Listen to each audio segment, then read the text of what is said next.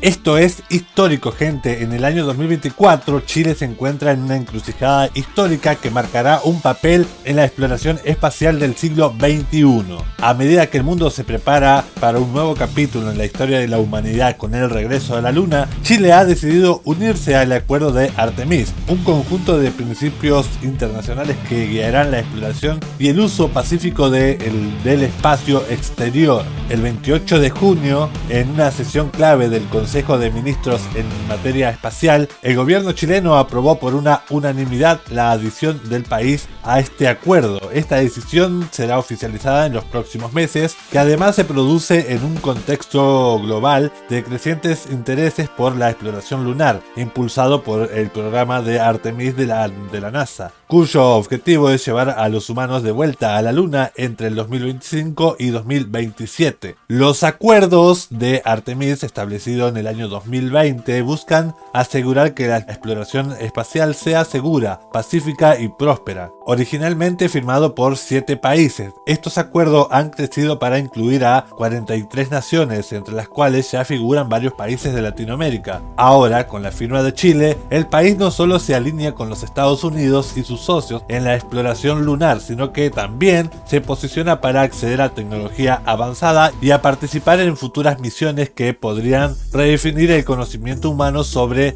nuestro satélite natural. César Fuente, un destacado investigador del Centro de Astrofísica y Tecnología Afines, CATA, y académico de la Universidad de Chile, destaca que la adición a los acuerdos de Artemis representa una oportunidad significativa para el país para Chile, firmar estos acuerdos significa mucho más que un gesto diplomático. Es una oportunidad para acceder a tecnología de vanguardia y potencialmente colaborar en soluciones innovadoras en el ámbito espacial, comentó. Sin embargo, Fuente también advirtió sobre la implicación geopolítica de esta decisión. Al firmar estos acuerdos, Chile se alinea con los Estados Unidos en un momento que la tensión con otras potencias espaciales como China y Rusia están en aumento. Esto podría tener repercusiones en nuestra política exterior y nuestra relación con otros países, explicó. El investigador además comparó la situación con la gestión internacional de la Antártica, un continente donde las cooperaciones y la competencia han coexistido de manera tensa. La historia de la Antártica nos muestra que, aunque las cooperaciones internacionales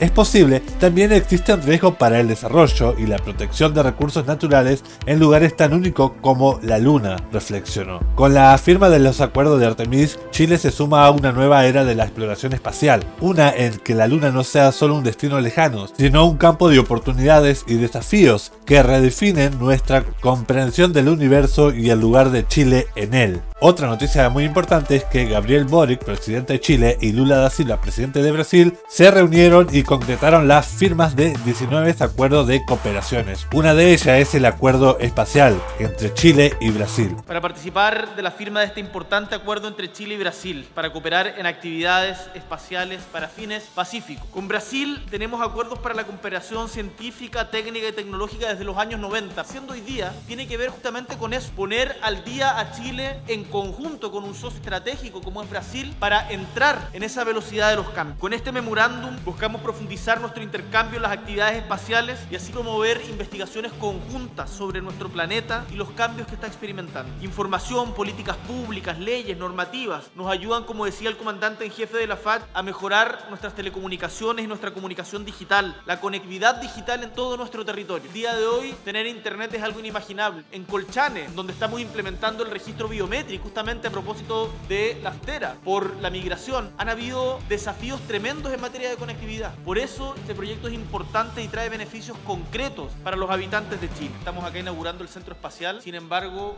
por la irresponsabilidad de una empresa en la municipalidad están sin luz. Espero que este centro espacial esté funcionando el segundo semestre del próximo año. Y en este centro espacial se van a ensamblar satélites, nuestros satélites, que van a ser puestos en órbita, se va a procesar la información que obtengamos desde el espacio y permitirá además preparar nuevos talentos para seguir desarrollando el conocimiento en estas materias. Será un lugar para las universidades, para los centros de investigación, para las industrias nacionales.